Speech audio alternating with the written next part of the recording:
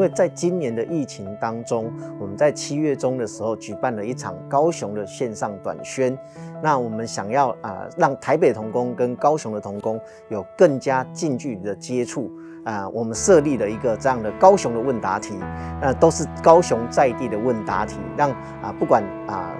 台北的童工跟高雄的 Best 都能更加的拉近彼此，能更多认识高雄，让我们的都每个人都是这样的欲罢不能参与在这其中。这是我第一次担当啊短宣队的啊领队，那其实我不擅长沟通，那在这一块当中，感谢区长的建议。让我知道该如何去跟童工分派这些工作，与他们沟通协调。那也透过祷告当中啊，将我更多的忧虑都卸在神的手中。我只跟他们讲说，他们是大能的勇士，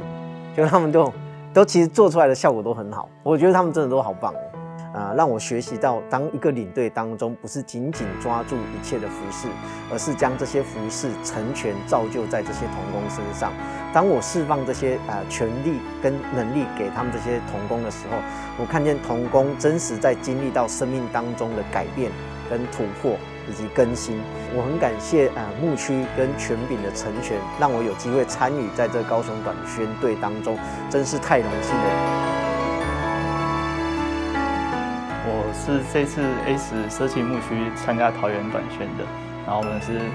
办线上的，因为疫情的关系，我们有时候想要办实体，但是又没办法，所以最后我们决定就是在讨论过后决定要办线上。那这次主要是否孩子们的，我们叫做脑洞 Smart 营。我们这次是用一个比较游戏的方式去让这个整个营会变得是一边玩一边学习。特别想要提的一点就是我们的课本里面有。就是有引用一些可能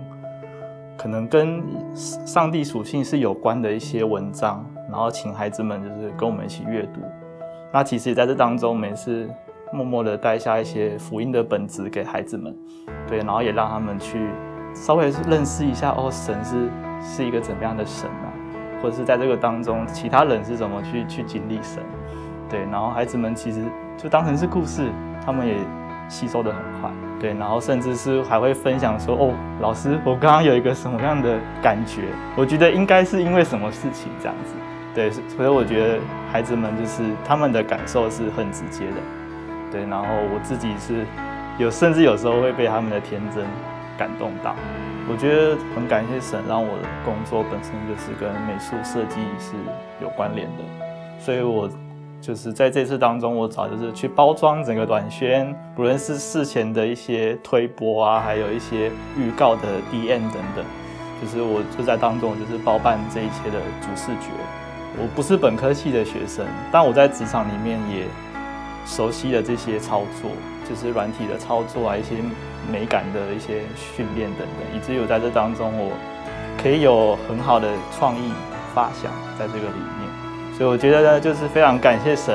让我们在这当中，我们一起去见证了，就是筹备了一年，但是就是顺利的在最后结果的这样的一个营会。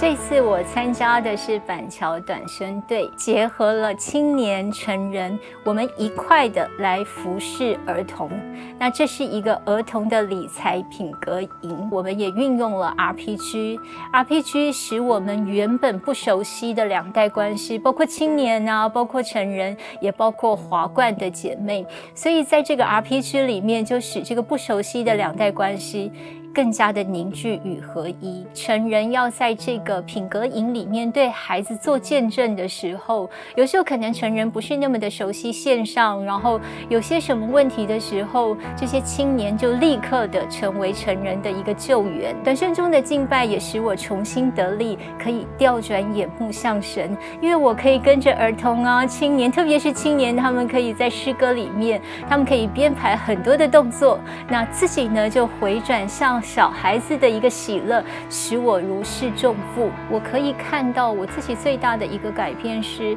我原先是一个相当软弱的人，但是当我去的时候，好像很多的时候我的软弱就摆到一边了，